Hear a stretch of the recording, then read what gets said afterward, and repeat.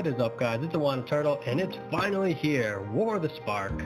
So, a lot of, uh, every major, the three major games, Pokemon, Yu-Gi-Oh! and Magic the Gathering released their newest set today.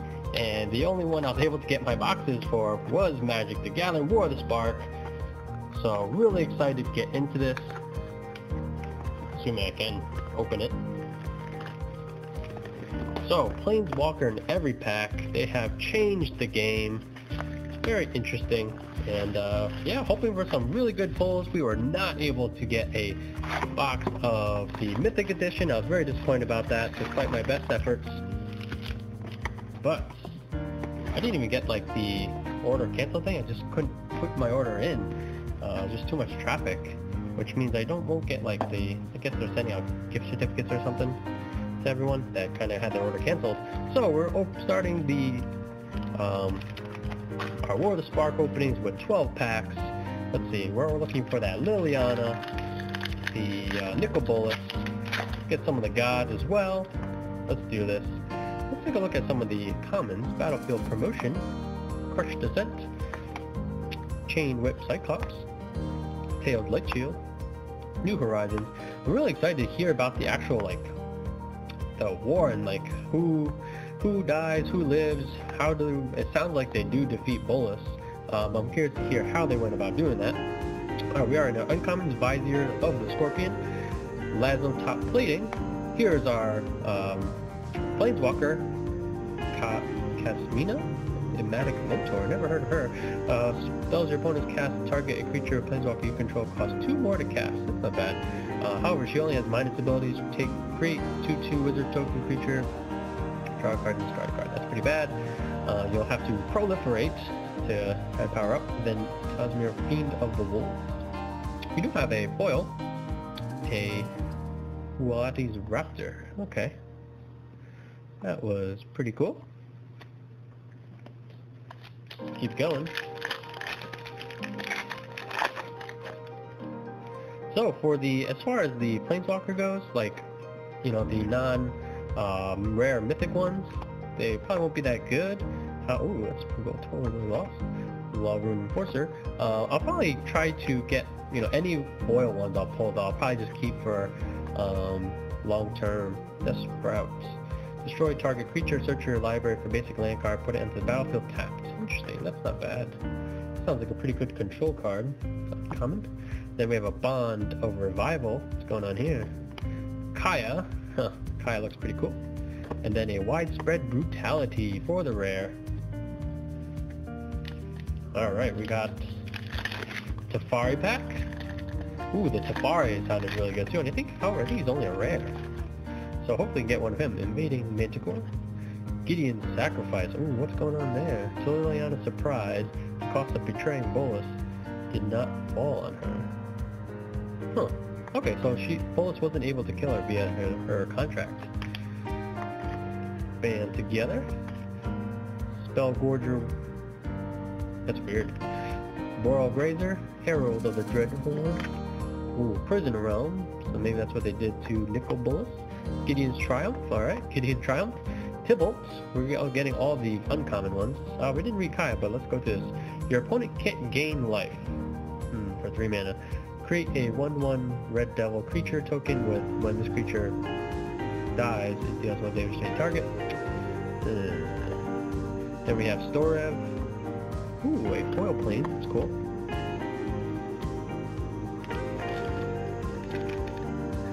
Alright, let's go to one more pack, actually look at the commons just because I'm not familiar with them, and there's some really cool art, but then we'll kind of pick things, pick up the pace. Crop Invader, Bulwark Giant, Crush Dissent, Invading Manticore, Ward Scale Crocodile, that is a big crocodile. You know what's interesting? I feel like the things are not so much by the guild, so I guess so, which kind of makes sense that all the planeswalkers are here and it's more about them rather than the guilds themselves. However, they're still in Ravnica. I would think they're, you know, have some relevance. Heartwarming Re Redemption, and then Arlinn, Voice of the Pack. I have no idea who any of these are. Seven, oh, that's six, six mana cost. Um, start at seven minus two, create two two wolf. Each creature you control that's a wolf or a werewolf enters the battlefield with an additional plus one counter. Eh. Ignite the beacons. This calls all the Planeswalker. Ooh, Chandra's Triumph. Hey, uncommon. Foil. I want a foil Planeswalker though. Alright, as I stated, well, we'll go through the pictures at least. That's cool. Cat. A zombie. Some fire. Storm the Citadel. Domri's Ambush. Flux Channeler. Oh, Gideon Black... Uh, is it Blackblade? Wow, that's pretty cool. Alright, I think this is one of the good ones. Alright, so we have our first first mythic, and it is a Planeswalker, Gideon Blackblade. As long as your turn, Gideon Blackblade is is a... He's always uh, some kind of human with indestructible. 4-4 human soldier creature with indestructible. That's still a Planeswalk. Prevent all damage that will be dealt to Gideon Blackblade during your turn. So you can attack with him. He starts with 4, and then a plus 1 is up to one other target creature you control gains your choice of Vigilance, Lifelink, or Indestructible to end a turn. I imagine Indestructible. Or Lifelink, I guess. Um, exile target permanent for minus 6. Hmm, it's kind of weird. But he only costs 3. That is really good. So for only 3 mana, you get a 4-4... Oh no, it's only on your turn he's a creature. However, you know, you get to 5 loyalty on on your first turn. That's crazy. So, monster pull right there. Really happy with that. I think the only thing about this set, so I feel like this set right now, like the, all the cards are worth a lot. Uh, however, there's no like special lands, so I feel like that will hurt it in the long run. Tamiyo's Epiphany, Pegasus, Giant Growth, classic card. Alright, we got the Prison Realm again, Emergence Zone. Here we go. Jiang Yanggu, Wildcrafter, and then a Time Wipe. Return a creature you control to his own hand and destroy all creatures.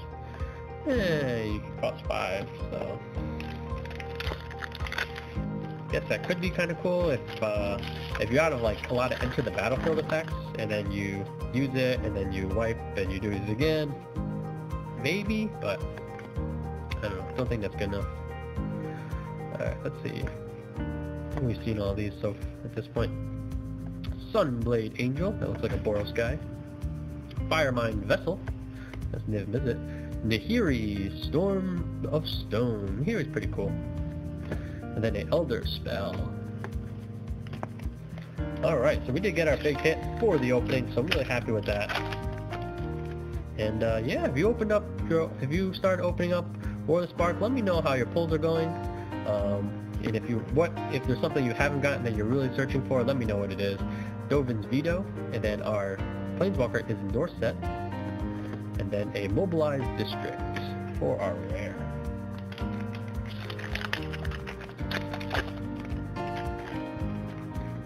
Seems like the ones that are really expensive right now is that Liliana. I think it's actually Gideon as well.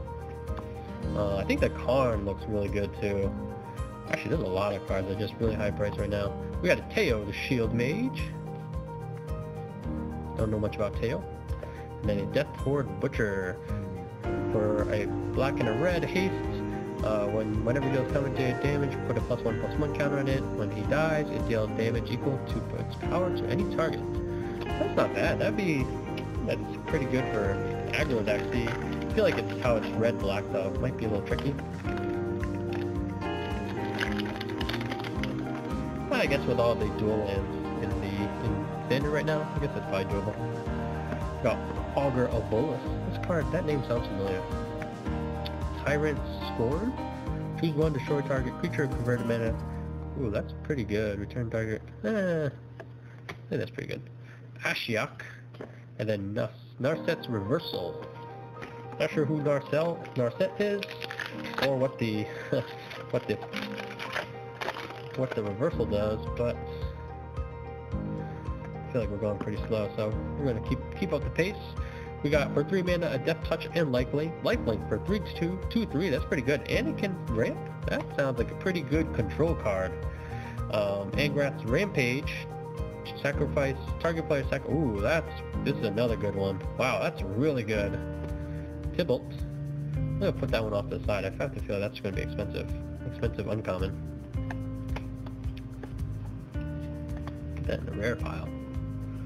Alright, our last pack for our first opening of War of the Spark. I'm not sure how many of these I'm going to open, how many boxes, um, but definitely enjoying it so far. We got Chandra's Triumph, Rubblebelt Rioters. There's a lot of these loyal dogs. And then, ooh, Tamiyo, Collector of Tales. Very nice.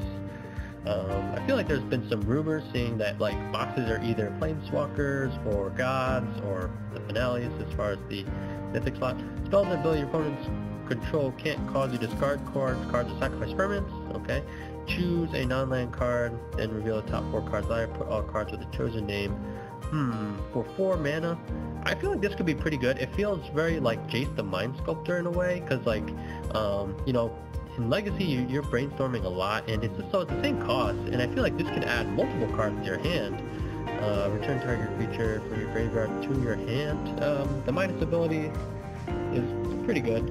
So yeah, I'm really happy with that pull as well. So we did get two really good pulls. However, the monster one was that Gideon Blackblade.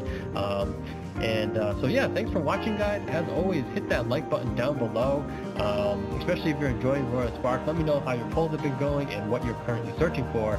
Uh, other than that, guys, thanks for watching. Thanks for all the support. I'm Milan Turtle, and I'll catch you guys next time. Peace.